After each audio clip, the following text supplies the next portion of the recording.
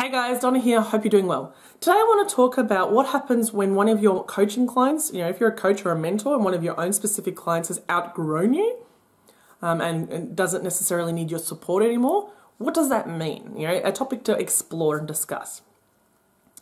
And for the most part, what I truly believe is that is a great thing. This is assuming that the clients have had success, they've gone through your program, they've implemented what they've learnt, they've loved it, you know, it's been a positive experience. So, why is this a great thing? Well, first and foremost, in my opinion, we never we should never want our clients, our mentorees, our coaching clients to be constantly needing us forever. They're not then they're not growing. Then then they're not um, advancing. They're not getting any better, if you want to call it. They're not overcoming their hurdles. Um, and now, obviously, a lot of it can be on them. You know, if they're not doing the work and if they're not taking action, if they're not implementing what they're learning, that's out of your control, obviously.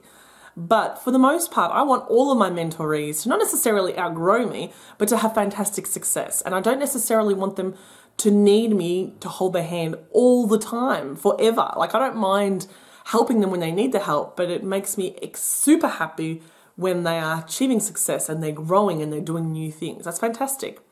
So I think from a coaching perspective, I don't want anyone to be beneath me all the time. I don't want to be this big overarching leader that's constantly pushing people down. I want people to surpass me. That's perfectly okay.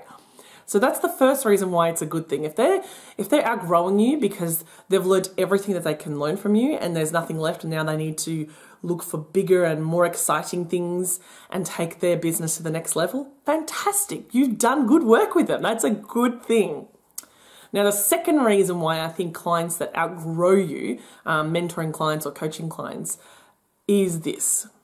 If they are no longer learning from you and if you're no longer providing the value that they need, then this is the perfect wake up call for you to level up yourself as a coach or mentor.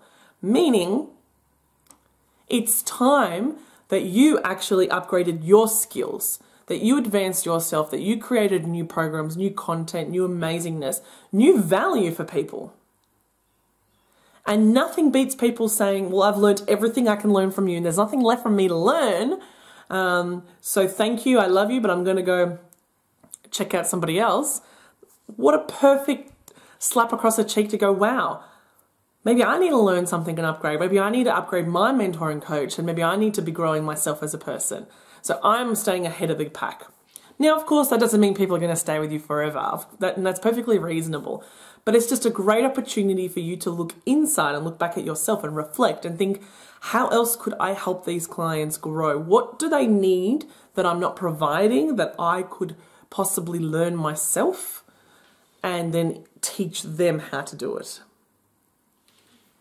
So I, it's just something, I mean, it's something that's happened to me. I've had some mentorees tell me, I've signed up for a new mastermind. I'm really excited, and that's totally cool. I'm so excited for them. I wish them 100,000% success. And they're still great friends of mine. It's not like I don't like them anymore. but it was a, I thought, you know what, this is a really good lesson for me and something that I could share with you. Now, obviously, a lot of my videos are dedicated to virtual assistants who are thinking, but I'm not a coach or a mentor, so why, you know, why would I need to watch this? But it is definitely something that you um, should pay attention to. If you're not a coach or mentor and you're at the recipient end and your coach or mentor is constantly pushing you down and making sure you're beneath them, and they're not actually elevating you and encouraging you to fly your wings, you know, leave the nest, then maybe it's time you actually have a think about who it is that you're working with and whether they're the right fit for you at this point in your stage in your business. So I'd love to hear your thoughts. Comment below. Let me know what you think. Have you had a really great coach um, that has encouraged you to, you know, leave the nest? Uh, or have you had one that hasn't been like that? You know, I mean, don't name any names. Obviously, don't. I don't want to hear any bad stuff, and I don't. I think it's inappropriate. But I think you know, I'd love to hear more about your experience. So um, leave a comment below and uh, like this video. And if you want to get more from me and more of my stuff, then please subscribe to my channel, and I'll see you next time. Bye.